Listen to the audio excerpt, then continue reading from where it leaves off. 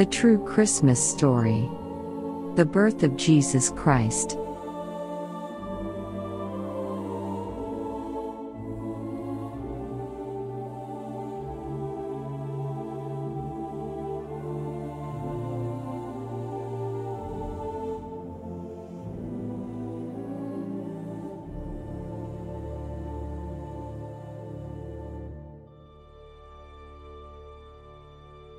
Long ago, about 2,000 years, when King Herod ruled Judea, now part of Israel, God sent the angel Gabriel to a young woman who lived in the northern town of Nazareth. The girl's name was Mary and she was engaged to marry Joseph. The angel Gabriel said to Mary, Peace be with you. God has blessed you and is pleased with you. Mary was very surprised by this and wondered what the angel meant. The angel said to her, Don't be afraid, God has been very kind to you. You will become pregnant by the Holy Spirit and give birth to a baby boy, and you will call him Jesus. He will be God's own son, and his kingdom will never end. Mary was very afraid, but she trusted God. Let it happen as God chooses. She replied to the angel. Joseph was worried when he found out that Mary was expecting a baby before their marriage had taken place. He wondered if he should put off the wedding altogether. Then an angel appeared to Joseph in a dream and said, Don't be afraid to have Mary as your wife. The angel explained that Mary had been chosen by God to be the mother of his son and told Joseph that the baby would be named Jesus, which means Savior because he would save people.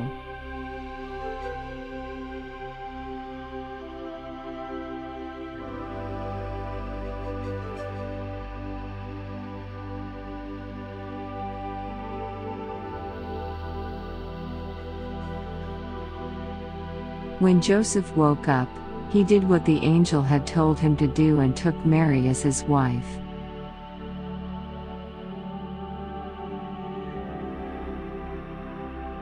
At this time, the land where Mary and Joseph lived was part of the Roman Empire. The Roman Emperor Augustus wanted to have a list of all the people in the empire to make sure they paid their taxes. He ordered everyone to return to the town where their families originally came from, and enter their names in a register, or census, there.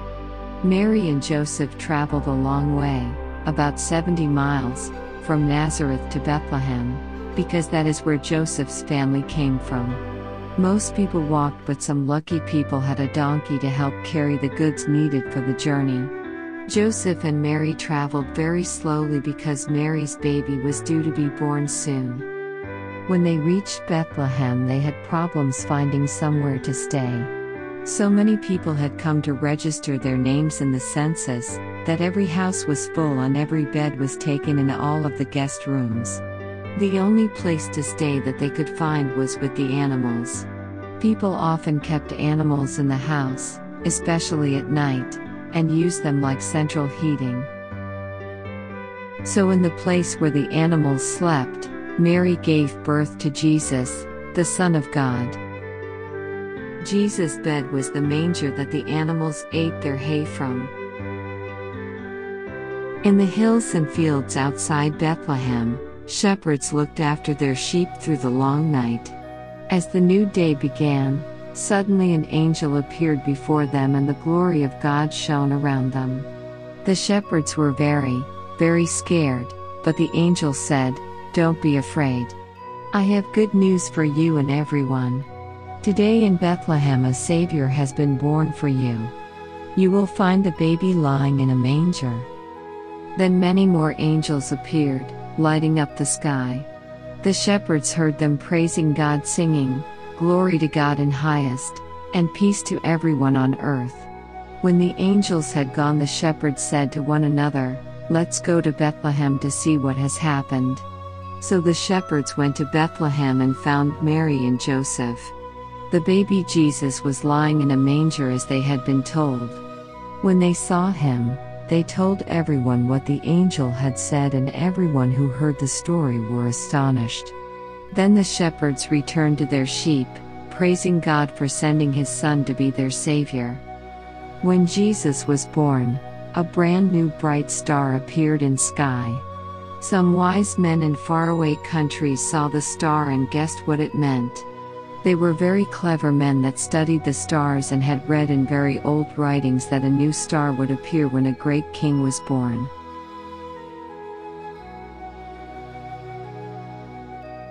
They set out to find the new king and bring him gifts. The wise men followed the star towards the country of Judea, and when they got to the capital called Jerusalem, they began to ask people, Where is the child who is born to be king of the Jews? Herod, the king of Judea, heard this and it made him very angry to think that someone might be going to take his place as king. Herod sent for the wise men to come to him. He told them to go on following the star until they had found the baby king. He said, When you have found him, let me know where he is, so that I can go and worship him. But Herod did not tell them that he really had an evil plan in mind to kill the new king.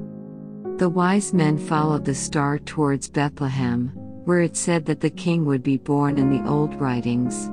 It seemed to stop and shine directly down upon the place where Jesus was.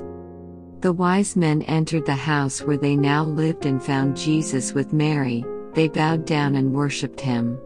The wise men spread the gifts they had brought before Jesus.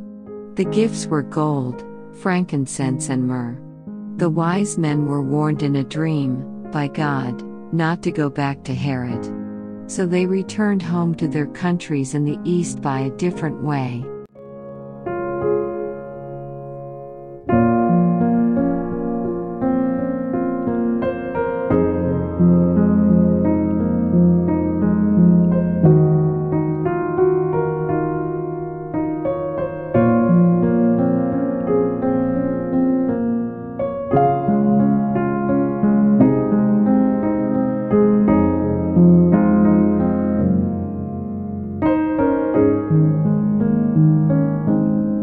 you.